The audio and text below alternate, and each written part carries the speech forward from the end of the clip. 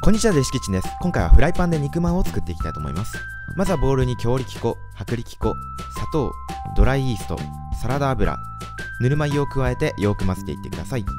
手で2分間ほどこねたらラップをして30分間発酵させておきます。続いて具材を混ぜていきましょう。豚ひき肉長ネギ干し椎茸たけのこ生姜調味料は醤油砂糖味噌ごま油片栗粉。最後に鶏ガラを加えよく混ぜていってください。お肉と生地を8等分にしそれぞれを包んでいっていきましょう。熱したフライパンに油をひいたら間を分け並べ中火で3分間待ちます。水を 200cc 加え中火で10分加熱すれば完成です。参考になったらいいねやシェアお願いします。以上デルシキッチンでした。